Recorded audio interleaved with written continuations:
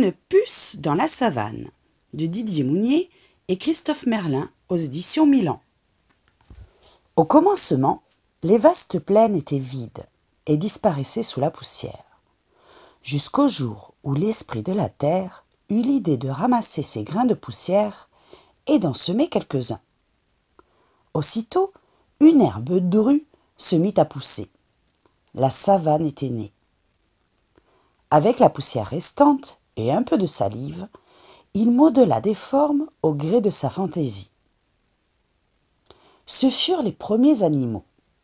D'un souffle, il leur donna la vie, dotant chacun de qualités remarquables.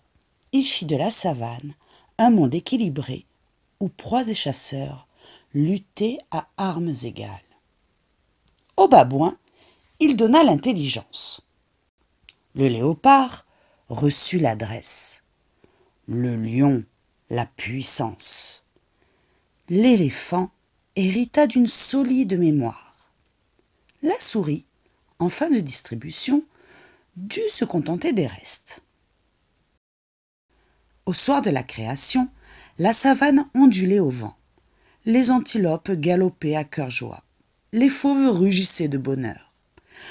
Ah, l'esprit s'avoua satisfait. Et pourtant, si son œuvre était trop parfaite, se révélant à la longue ennuyeuse, s'il manquait un petit grain de sable pour donner du piquant à la vie. C'est alors qu'une minuscule poussière virevolta dans l'espace. L'esprit l'avait oublié dans le feu de la création. Il lui insuffla la vie, puis, d'un air entendu, l'expédia dans la savane. C'est ainsi que d'une poussière désorientée naquit celle qu'on n'attendait pas, la puce. Elle atterrit, tout étourdie, plus légère qu'un fétu de paille, plus affamée qu'une meute de chiens sauvages. Aussitôt, elle se mit en quête d'un abri. Mais de l'éléphant à la souris, tous lui refusèrent l'hospitalité, chacun lui tenant ce langage. L'esprit de la terre m'a donné une place dans la savane. J'y ai des droits et des devoirs. Et jamais il n'a été question que je te loge. Va voir ailleurs. C'était la saison des pluies. La savane verdoyait. Les gazelles en engraissaient. Les fauves faisaient bombance.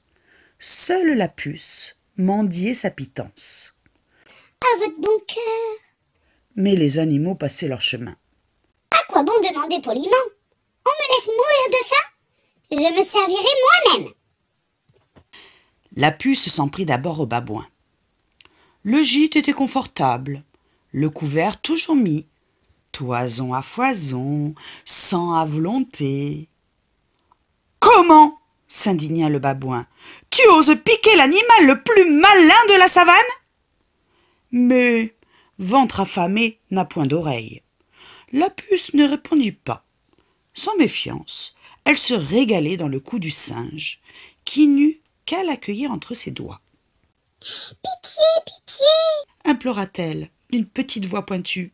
De la pitié alors que tu te goinfres à mes dépens Épargne-moi, je puis t'être utile. Toi que je peux écraser d'une simple pression des doigts Mais oui N'as-tu pas quelques ennemis? Je puis t'en débarrasser. Présomptueuse Mets-moi à l'épreuve. Que risques-tu? Rien, se dit le babouin. Je suis l'animal le plus malin de la savane. L'esprit de la terre me l'a confié. Si la puce se vante, j'ai des mains habiles pour la rattraper. Certes, reprit le babouin à l'adresse de la puce. Le léopard me livre une chasse acharnée. Ce gros chat acheté, j'en fais mon affaire, assura la puce. C'est ma part du marché. Et la mienne s'enquit le babouin. Oh, presque rien. Juste me loger et me nourrir. Quoi? Et être piqué encore? Rassure-toi, je n'abuserai pas. Et quand le léopard t'attaquera, tu seras bien content de m'avoir épargné. Marché conclu. Un jour, le babouin tomba nez à nez avec le léopard. Puce hurla le singe terrorisé. Tiens ta promesse C'est comme si c'était fait. Le léopard bondit sur le babouin. La puce sauta sur le léopard et le piqua si cruellement que le fauve fut stoppé net dans son élan. Le babouin en profita pour déguerpir. Quel toupet protesta le léopard. Tu oses piquer l'animal le plus adroit de la savane. Tu vas le regretter. Le léopard, en silence, gagna une mare et, avec souplesse, se glissa dans l'eau. La puce, sans méfiance, festoyait sur la queue du fauve. Elle s'y trouva cernée comme sur une île. Tu avais soif? Eh bien, bois maintenant. Grâce, Seigneur Léopard. Grâce, alors que par ta faute, mon repas s'est sauvé Je n'ai fait que mon devoir. se défendit la puce. J'avais promis au babouin de le tirer de tes griffes. N'as-tu pas de même un ennemi dont je pourrais te débarrasser? Toi, que je peux noyer dans une goutte d'eau? Mets-moi à l'épreuve. Que risques-tu Rien, se dit le léopard. Je suis l'animal le plus adroit de la savane. L'esprit de la terre me l'a affirmé. Si la puce se moque de moi, je saurais bien la noyer pour de bon. Certes, reprit le léopard. Euh, le lion avec moi n'est guère loyal. À peine ai-je tué une proie qu'il vient me la réclamer. Je dois hisser mes repas dans les arbres pour manger en paix. Mais tu ne peux rien contre le lion, le roi des animaux. Ce roi fainéant, j'en fais mon affaire. assura la puce. C'est ma part du marché. Et la mienne, s'enquit le léopard? Presque rien. Juste me loger et me nourrir. Quoi? Et être piqué encore? Rassure-toi, je n'abuserai pas. Et quand le lion viendra jouer les picassiettes, tu seras bien content de m'avoir épargné. Marché conclu.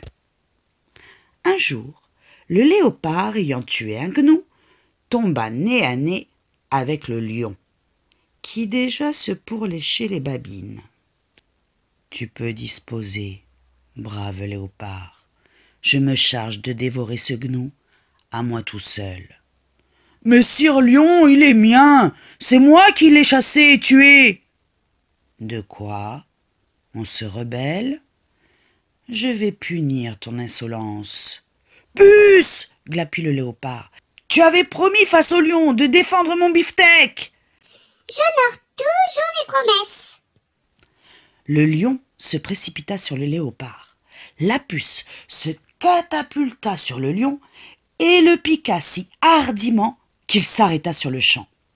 Le léopard en profita pour emporter son repas. Qui ose parasiter le roi des animaux? rugit le lion. Qui s'invite chez moi et se nourrit sur mon dos?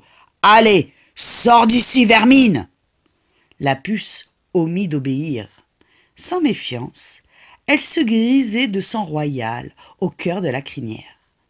Mais un violent coup de patte l'en délogea, et une griffe implacable la cloua au sol.